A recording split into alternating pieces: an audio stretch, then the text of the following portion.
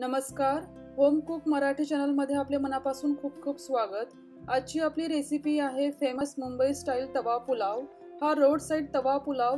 अनेक भाज्या आणि पावभाजी मसाला घालून बनवला जातो. खूप छान टेस्टी स्पायसी भारी लागतो. हा तवा पुलाव घरच्या घरी आपण इझिली बनवू शकतो. चला तर बघूया याकरता लागणारे साहित्य आणि कृती. सगळ्यात आधी एक कप बासमती तांदूळ स्वच्छ धुवून त्यात पाणी आणि मीठ घालून कुकरमध्ये दोन शिट्ट्या करून शिजवून घ्यायचे.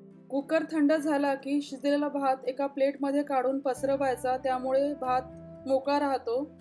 तवा पुलाव करण्यासाठी माझ्याकडे मोठा जाड तवा नसल्यामुळे इथे मी लोखंडी कढई घेत आहे. तुम्ही नॉनस्टिक पॅन घेतले तरी चालेल. यामध्ये दोन मोठे चमचे बटर आणि दोन मोठे चमचे तेल घालायचे. बटर तेल मिक्स करून तपले की यामध्ये जिरे घालायचे. मिडियम आचेवर परतायचे. जिरे तडतडले की यामध्ये बारीक चिरलेले आलं आणि कांदा घालायचा. मिडियम टू हाय फ्लेमवर कांदा गुलाबी रंगावर परतायचा. यामध्ये मी बारीक चिरलेला लसूण नाही घातलेला आहे कारण नंतर मी लाल लसणाची चटणी घालणार आहे. हा पुलाव शक्यतोवर मध्यम ते मोठ्या आचेवरच करायचा. फक्त मसाले घालते वेळी आज कमी करायची. कांदा गुलाबी परतला की यामध्ये बारीक चिरलेल्या शिमला मिरची गाजर घालायचे. एक मिनिट परतायचे. खूप शिजवायचे नाही.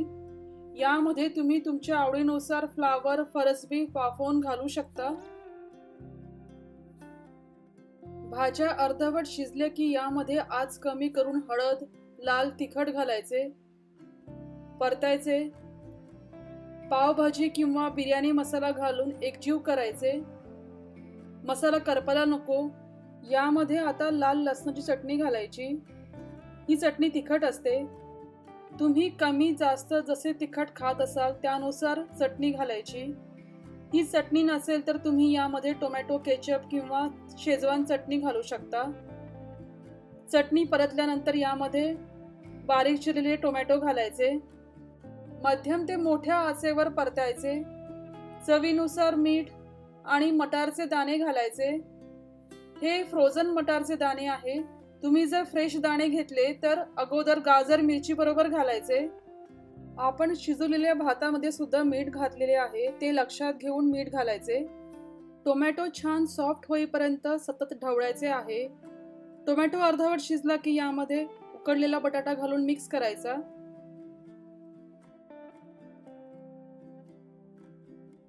यामध्ये अर्धा कप गरम पाणी घालायचे. मध्यम ते मोठ्या आचेवर एक उकळी येऊ द्यायची.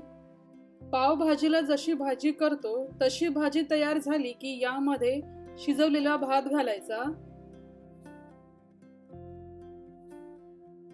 थोडीशी बारीक चिरलेली कोथिंबीर घालायची. हलक्या हाताने कमी आचेवर मिक्स करायचा. शिते मोडणार नाहीत याची काळजी घ्यायची. बघा घरात जर भात शिल्लक असेल आणि काही भाज्या असतील घरात पावभाजी मसाला असतोच आपण असा झटपट टेस्टी पुलाव कधीही बनवू शकतो. छान व्यवस्थित ढवळायचे मसाला सर्वत्र लागायला हवा. यामध्ये एक मोठा चमचा लिंबाचा रस घालून एकदा परतायचे. शेवटी आवडीनुसार उभे चिरलेल्या हिरव्या मिरच्या घालून गॅस बंद करायचा. बघा टेस्टी तवा पुलाव तयार आहे.